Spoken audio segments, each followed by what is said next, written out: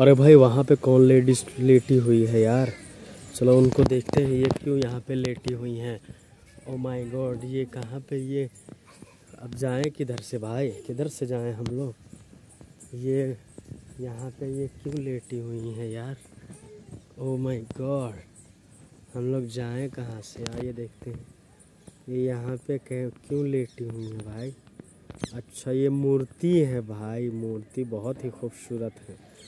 O my God wow wow तो यहाँ पे अब इनका नाम तो नहीं पता है, यहाँ पे आइए देखते हैं क्या लिखा है। एक यहाँ पे बोर्ड है। आमा को गर्भ प्रवेश गर्नु भएको कार्य। इनमें इंटरिंग हिज मदर्स वोम भनेपछि माता के गर्भ में प्रवेश करने का कार्य। यहाँ पे ये लेटी हुई है और इधर ये बहुत ही खूबसूरत मंदिर है दोस्तों। मैं आप सबको थोड़ा दिखा देता हूँ। देख सकते हैं। ये मंदिर जो दोस्तों आप लोग देख रहे हैं, ये जर्मनी ने बनाया है, नेपाल में अपने पैसों से बनाया है।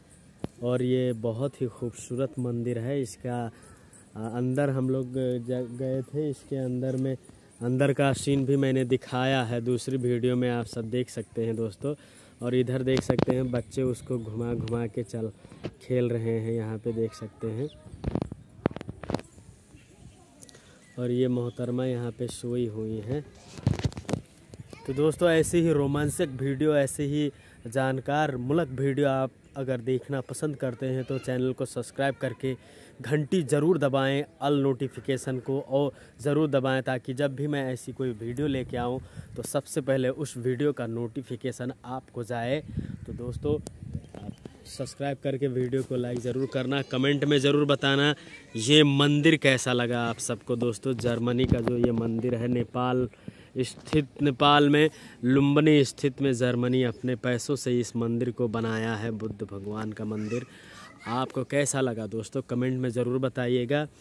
और ये मूर्ति आप सबको कैसी लगी, इनके बारे में भी ज़रूर बताइएगा। कमेंट करिए। Thank you.